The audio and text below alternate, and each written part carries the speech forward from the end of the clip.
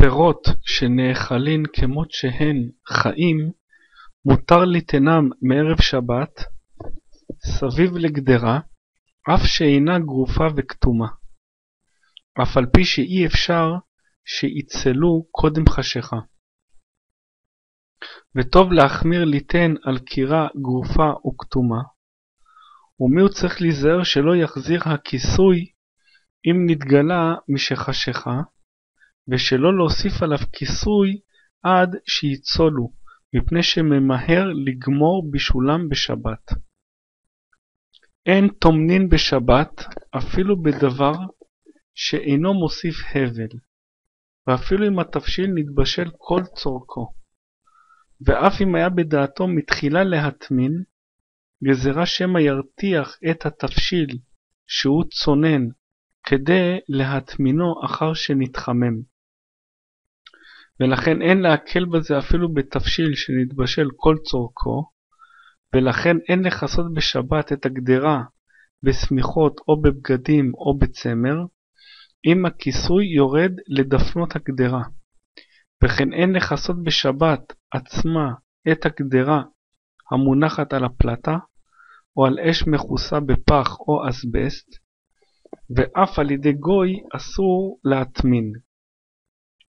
אבל בספק חשיכה שהוא בין השמשות, טומנין בדבר שאינו מוסיף הבל, ובדבר שמוסיף הבל כגון פסולת של זיתים בסומסומין, או מלח סיד וחול, אין טומנין אפילו מערב שבת.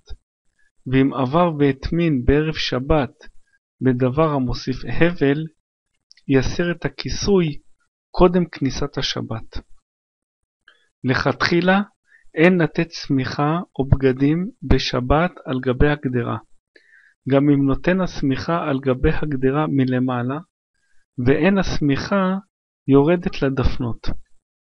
ואומנם יש מקילין בדבר, ולדעתם אין דין הטמנה, אלא כשהשמיכה נוגעת בדופני הגדרה.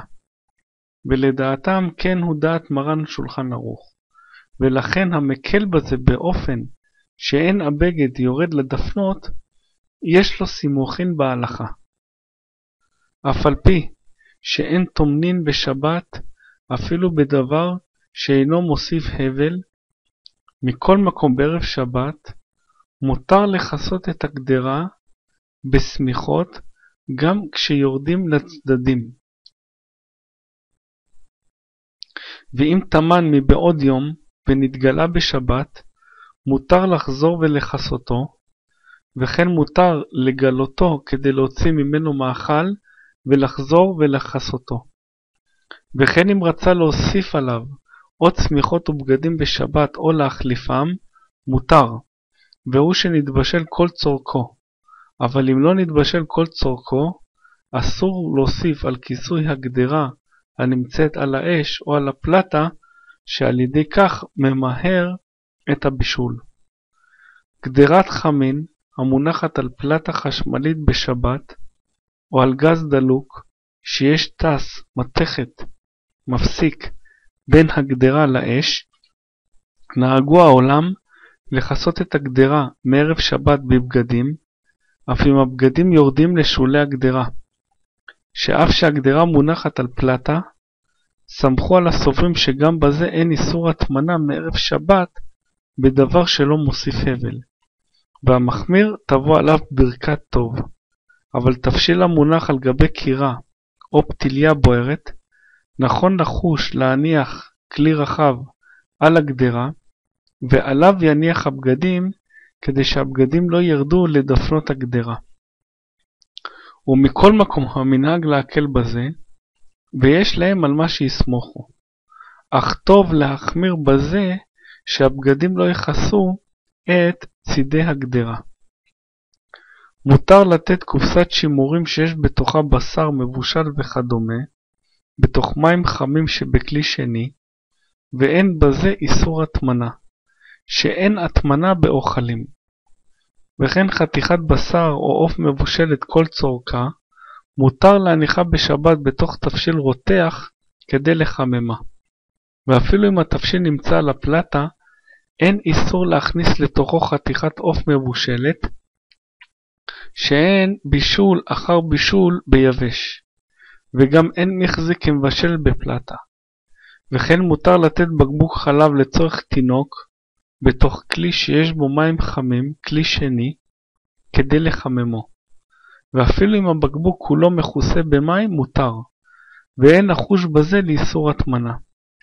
אבל אין לחמם את החלב בכלי ראשון, אפילו אם אין, אין החלב על האש, אף אם החלב הוא כבר מבושל מבעוד יום, שיש בישול אחר בישול בדבר לך.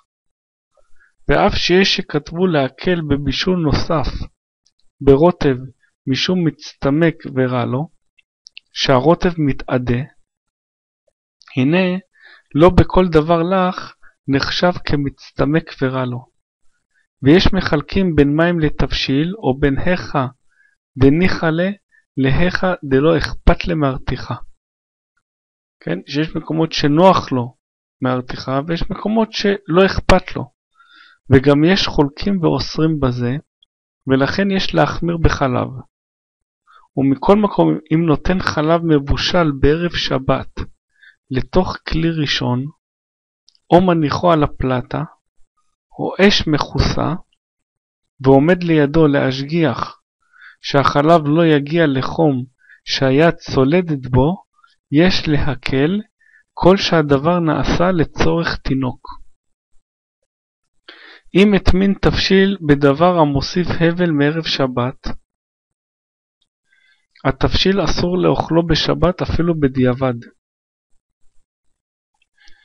ודווקא אם הטמין תבשיל צונן שנתחמם על ידי ההטמנה, או שהטמין תבשיל חם ועל ידי ההטמנה נצטמק ויפה לו, אבל בעומד בחמימותו כשעה ראשונה מותר, כיוון שלא הרוויח ממעשיו. אבל בעומד בחמימותו, ואם הטמין בשבת בדבר שאינו מוסיף הבל, כיוון שההטמנה רק שמרה על חום התבשיל, בדיעבד התבשיל מותר באכילה בשבת. מותר לסגור את דלת תנור האפייה חשמלי בשבת, ואין בזה איסור הטמנה, אולם אם יש בתוך התנור תבשיל שנתבשל, שנתבשל כל, שלא נתבשל כל צורכו, אסור לסגור את דלת התנור בשבת. אף אם מתכוון לסגור את התנור כדי שלא ייכנס לתוכו אבק. וכן תבשיל, אולם אם יש בתוך התנור תבשיל שנתבשל כל צורכו, אסור לגלות לסגור את דלת התנור בשבת. אף אם מתכוון לסגור את התנור כדי שלא ייכנס לתוכו אבק. וכן תבשיל שלא נתבשל כל צורכו, ועומד על הקירה, או על הפלטה, אם מסיר את המכסה מהגדרה, אסור להחזירו. ואם נתבשל כל צורכו, מותר לחזור ולכסותו. ולכתחילה נכון להיזהר, שבשעה שמסיר את המכסה, שלא יפלו טיפות מים לתבשיל. ומיהו, אם טפטף מים לתבשיל, או על הפלטה, נחשב כמתעסק ואינו בכלל מעשה עבירה, ורק לכתחילה נכון להיזהר בזה. ואם עבר ועשה כן, מעיקר הדין אין צריך תיקון, ומכל מקום מתחזק יותר בלימוד תורה ביתר שאת. מותר לערוד בשבת, בשבת מים רותחים מכלי ראשון, אפילו מכלי ראשון הנמצא על הפלטה, לתוך קנקן העשוי להעמיד בתוכו חום המים במשך מעת לעת, הנקרא תרמוס, ולכסותו בפקק שעליו, ואין לחוש בזה משום איסור הטמנה. וכן מותר לתת בשבת תבשיל חם, אפילו אם היה צולדת בו, לתוך מתקן קל חם הנועד לשמירת החום ולסוגרו, ואין בזה איסור הטמנה. ואף אם התבשיל לא נתבשל כל צורכו, מותר להניחו בתוך המתקן הנ"ל. וכן מותר להניח בשבת משקאות קרים בתוך מתקן הנועד לשמור על הקור של המשקאות.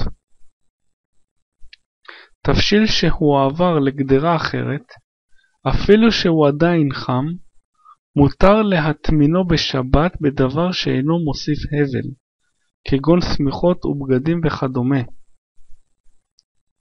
וכן מותר לכסות בבגדים או בשמיכות צמר גדרה שיש בתוכה תבשיל צונן, או תבשיל שאינו חם חום שהיה צולדת בו, אפילו אם מתכוון להפיק צנעתו, ובדבר המוסיף הבל, אין להטמין גם דבר צונן, ואפילו מבעוד יום.